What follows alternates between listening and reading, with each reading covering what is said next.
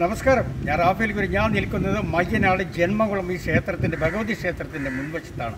ഈ ജന്മകുളം പ്രദേശത്തെ വെള്ളക്കെട്ട് ഒഴിവാക്കാൻ വേണ്ടി കോടിക്കണക്കിന് ഉറപ്പുക വകയിരുത്തിക്കൊണ്ട് ഇതിലൊരു ഓട നിർമ്മാണം തുടങ്ങി.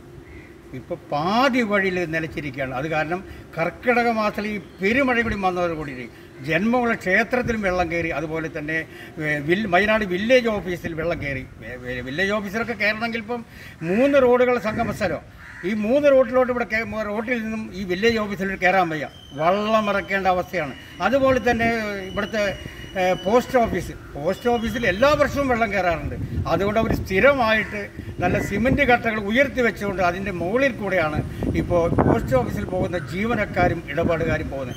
ഇതിന് ആരാണ് ഉത്തരവാദി? ഇത് ഓട നിർമ്മാണം ഇങ്ങനെ പാതി വഴിയിൽ നിലച്ചിരിക്കുകയാണ് ഇപ്പം ജന്മകുളം ഭാഗത്ത് വന്ന് ഈ പോസ്റ്റ് ഓഫീസിന്റെ അവിടം വരെ വന്ന് നിൽക്കുകയാണ്. ഇത് ജന്മകുളം ക്ഷേത്രത്തിൽ വെള്ളം കയറി കിടക്കുന്ന ദൃശ്യമാണ് ഇപ്പോൾ കാണുന്നത്.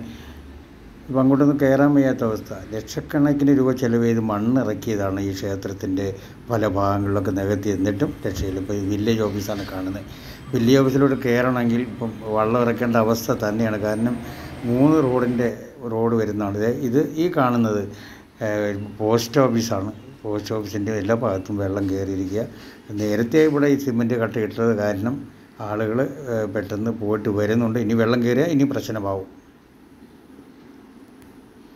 ഇപ്പോൾ ആളുകളൊക്കെ ഈ റോഡിൽ കൂടെ വരുന്ന കണ്ടല്ലോ വില്ലേജ് ഓഫീസിന്റെ മുൻവശമാണ് കാണുന്നത്. കുഴിയിൽ പെട്ട് കുറച്ച് നേരം നിന്ന് ദേ ഇപ്പോൾ വീണ്ടും രക്ഷപ്പെട്ടു പോകുന്നു.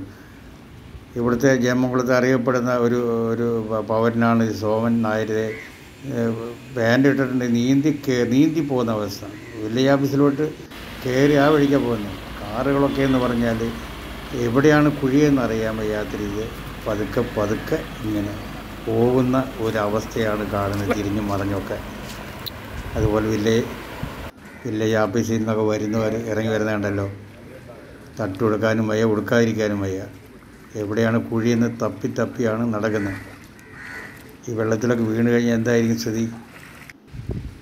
അതുപോലെ വില്ലേജ് ഓഫീസിലോട്ട് വരുന്ന ജീവനക്കാരൊക്കെ അതുപോലെ മറ്റുള്ളവരൊക്കെ സൈഡിലൊക്കെ പിടിച്ച് പിടിച്ചാണ് വില്ലേജ് ഓഫീസിലോട്ട് വരുന്നത്. എന്തൊരു ഗതികേടാണ് നോക്ക്.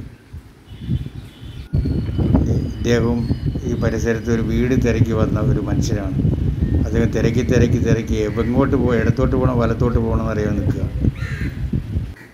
ആ എവിടെ പോകാമെന്ന് ഞാൻ ഈ വയനാട് വില്ലേജ് ഓഫീസർ വന്നതാണ്. ഞാൻ വില്ലേജ് ഓഫീസ് വരെ വന്നു. എന്നിട്ട് കയറാൻ പറ്റുന്നില്ലേ ഞാൻ വിചാരിച്ച് വയനാട് വില്ലേജ് ഓഫീസിൽ വന്നപ്പോൾ ഞാൻ കരുതി മൺട്രോത്തുരത്ത് വില്ലേജ് ഓഫീസിലാണ് ഞാൻ വന്നത്. കാരണം ഈ വെള്ളക്കെട്ട് കണ്ടപ്പോഴേ ഞാനിവിടെ അക്കരെ ഒന്ന് പോവാന്ന് വിചാരിക്കും വെള്ളം വരുമെന്ന്. അത്രയും അത്രയും ഞാനിപ്പം ഈ കാറുപാട്ട് വന്നിവിടെ നിന്ന് ഇത് എങ്ങോട്ട് പോകണമെന്ന് അറിയാൻ വയ്യ. എങ്ങനെയാണ് ഇതിനപ്പുറത്ത് കിടക്കുന്നത്? വെള്ളം കെട്ടി ഞാൻ വെച്ച് കായലാന്ന് കരുതി. റോഡ് എവിടെയാണെന്ന് അറിയാൻ വയ്യ. ഇതൊക്കെ ഈ നാടിന് നാണക്കേടല്ലേ? ഈ ഇത്രയും ഡിജിറ്റൽ കേരളം കേരളീയം ഇങ്ങനെയുള്ള ഒരുപാട് ആസൂത്രണം ചെയ്യുന്ന സർക്കാരുകൾ ഇതൊക്കെ ചിന്തിക്കുന്നില്ല എന്നുള്ളത് നമ്മുടെ നാടിന് നാണക്കേടാണ്. ഇതൊക്കെ വളരെ നാണക്കേട്.